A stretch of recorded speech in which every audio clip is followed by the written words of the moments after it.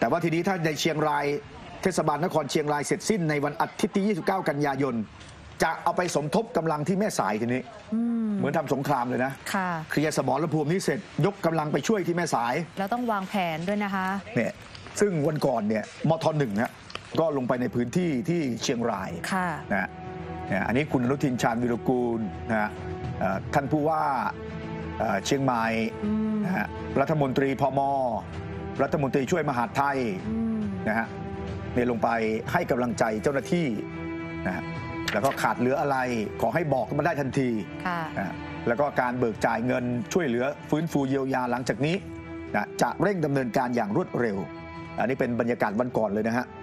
ซึ่งวันนี้นายอนุทินชาญวิรกูลรองนายกรัฐมนตรีมหาดไทยอ่าก็ได้มีการเปิดเผยถึงสถานการณ์น้ำในภาพรวมนะครับ สิ่งที่กังวลตอนนี้คือการช่วยเหลือเยียวยา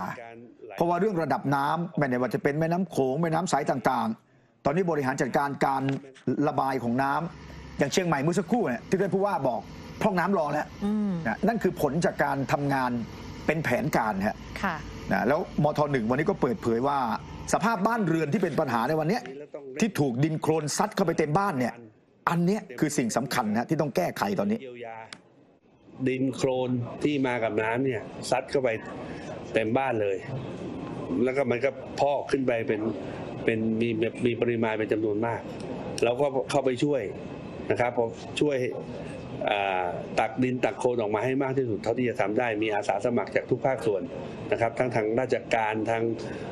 ทหารตำรวจ แล้วก็มูลนิธิกู้ภัยต่างๆ เข้าไปช่วยกัน ทางกระทรวงมหาดไทยก็ได้เร่งส่งเครื่องจักรอุปกรณ์ สิ่งอำนวยความสะดวกเข้าไปในพื้นที่อย่างเต็มที่ แต่ว่าต้องเรียนว่ามีปริมาณของไอ้วัสดุไม่พึงประสงค์เยอะจริงๆแล้วนอกจากนี้ก็ยังมีพวกของเสียหาย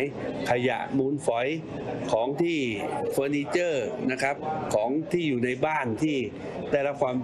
ถูกน้ำซัดออกมาได้รับความเสียหายมากมายชาวบ้านก็มากองอยู่หน้าบ้านอยู่ เราก็ต้องเร่งจัดรถบรรทุกนะครับ ไปนำสิ่งเหล่านี้แล้วก็เรื่องระบบสาธารณูปโภค เส้นทางคมนาคม ระบบไฟฟ้าน้ำประปา ก็เริ่มคืนพื้นที่มากกว่า 80%เพื่อไม่ให้เป็นอุปสรรคในการสัญจร รวมถึงการเฝ้าระวังทุกพื้นที่ย้ำเตือนผู้ว่าทุกจังหวัด เน้นการเตือนภัยล่วงหน้าให้มากที่สุด แล้วก็ช่วง หลังจากนี้การช่วยเหลือเยียวยาฮะก็จะมีการอัดฉีดเงินรายครัวเรือนที่ประสบภัยค่ะในขณะที่เรื่องการซ่อมแซมที่อยู่อาศัย ก็มีทั้งงบของปอพกรมป้องกันและบรรเทาสาธารณภัย แล้วก็งบของสำนักงานอ่าสำนักนายกรัฐมนตรี แล้วก็กระทรวงพมอ่าซึ่งวันก่อนที่มทหนึ่งลงพื้นที่กับรัฐมนตรีพมก็เพื่ออาไปสำรวจไปดูของจริงว่าเป็นยังไงนะฮะเรื่องการเยียวยาผู้ประสบภัย รัฐมนตรีมหาดไทยฮะยืนยันว่าจะเสนอคณะรัฐมนตรีถ้าเป็นไปได้วันที่ 24 กันยายน จะมีมาตรการเพิ่มเติมอีกฮะในหลักการเรื่องการช่วยเหลือจากงบเยียวยา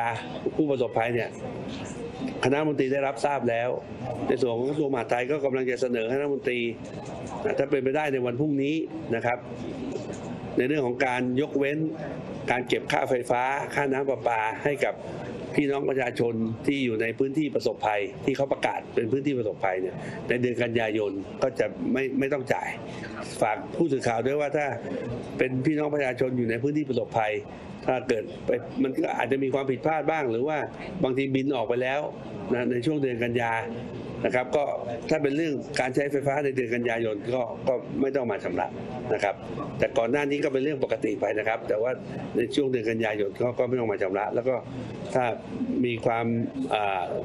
ลำบากในเรื่องของการชำระค่าไฟก็ให้แจ้งความจำนงในการขอผ่อนค่าไฟที่เกิดขึ้นในเดือนก่อนเดือนก่อนที่จะประสบภัยนะครับจะไม่มีการตัดไฟ จะไม่มีการยกเลิกการให้บริการไฟบริการน้ำในพื้นที่ประสบภัยนะเป็นอันขาด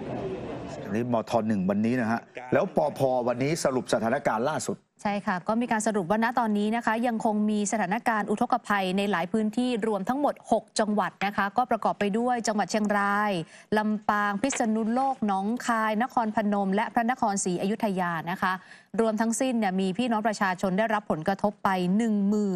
8,087 ครัวครับเรือนนะคะ อันนี้คือในปัจจุบันนะฮะที่ใช่ค่ะยังได้รับผลกระทบอยู่ฮะค่ะพื้นที่เฝ้าระวังฮะกระทรวงอวครับ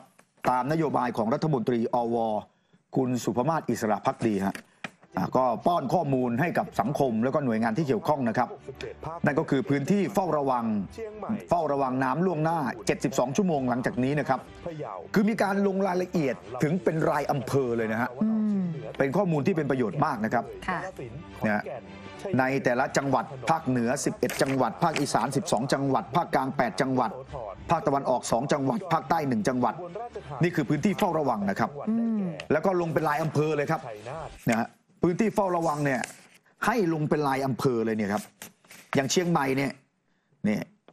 มีแม่ริม สันป่าตองที่เราเห็นภาพข่าวฮะค่ะอ่าก็มีการแจ้งเตือนอยู่แล้วนะครับ เชียงรายก็เวียงป่าเป้าอย่างเงี้ยอืมนะฮะเนี่ยครับ เพราะฉะนั้นแต่ละจังหวัดแล้วก็ในระดับอำเภอเนี่ยก็ต้องใช้ข้อมูลเหล่านี้ให้เป็นประโยชน์ค่ะส่วนกรมอุตุครับกรมอุตุก็มีการแจ้งเตือนนะวันนี้แล้วก็วันพรุ่งนี้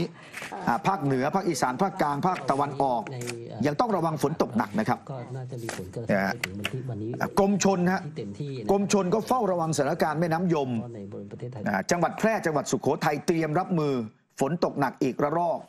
แล้วทำไมจังหวัดแพร่จังหวัดสุโขทัย นะก็เพราะคาดว่าปริมาณน้ำจะไหลผ่านอำเภอวังชิ้นจังหวัดแพร่ คาดว่าคืนนี้ 23 กันยายนเนี่ยจะแตะ 1,000 ลูกบาศก์เมตรต่อวินาทีครับค่ะนะเพราะฉะนั้นพี่น้องที่จังหวัดแพร่จังหวัดสุโขทัยก็เตรียมรับน้ำนะฮะคือฝนตกหนักแม่น้ำยมตอนบนมันจะไหลลงมานะฮะอันนี้คือสถานการณ์ที่ประเทศเรา ในขณะที่ต่างประเทศอย่างที่ญี่ปุ่นโอ้โหญี่ปุ่นนี่อุทกภัยหนักเลยครับอืมนี่คือสภาพที่ญี่ปุ่นนะครับค่ะ โลกช่วงนี้แหมเป็นภาวะเอ่อเรื่องภูมิอากาศโลกอะนะ ยุโรปยุโรปโดนหมดนะคะ